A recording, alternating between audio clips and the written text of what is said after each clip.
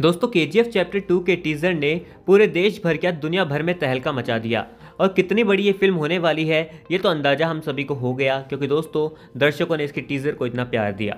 लेकिन आपको बता दें दोस्तों रॉकिंग स्टार यश यहाँ पे टक्कर लेंगे खिलाड़ी कुमार अक्षय कुमार से। जी, आपने बिल्कुल सही सुना। ये कैसे होगा हम आपको बता देते हैं। जैसा कि दोस्तों आप सभी जानते हैं कि बेल बॉटम की रिलीज़ डेट 13 अप्रैल फिक्स कर दी गई है। वहीं दोस्तों आपको बता दें के के मेकर्स चाह रहे हैं कि के चैप्टर टू सत्ताईस अप्रैल को सिनेमाघर में रिलीज़ हो। अगर ऐसा होता है तो दो बड़ी फ़िल्में एक ही महीने में दो सप्ताह के भीतर रिलीज़ हो जाएगी। कहीं ना कहीं दोस्तों, यहाँ पर दोनों ही फ़िल्मों को थोड़ा सा असर पड़ सकता है। वहीं अक्षय कुमार की बात करें तो अक्षय कुमार हिट मशीन है, लेकिन के की बात करें तो दोस्तों ये मोस्ट अवेटेड फ़िल्म है। इस चीज़ का फ़ायदा बेल बॉटम को उठाना पड़ सकता है। लेकिन बेल बॉटम भी दोस्तों सिनेमा घर में काफ़ी धासु रूप से एंट्री लेगी, क्योंकि अक्षय कुमार का लुक इसमें काफ़ी ज़्यादा पसंद किया गया है और अक्षय कुमार को दर्शकों ने खूब चाहा है। और अक्षय कुमार की फ़िल्में अक्सर हमेशा दोस्तों अच्छी ही साबित होती है।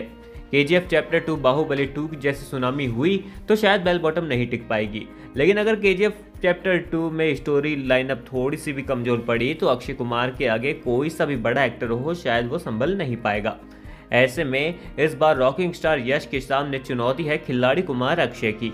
दोस्तों, आपको क्या लगता है, अगर दोनों ही फ़िल्म में दो सप्ताह के भीतर रिलीज़ होती है तो क्या एक दूसरे के कलेक्शन में यहाँ पर रोकथाम मचाएँगी, या फिर दोनों ही काफ़ी कारगर साबित होगी? और दोस्तों, इनमें से कौन होगा विजेता कमेंट सेक्शन में अपना जवाब ज़रूर दें।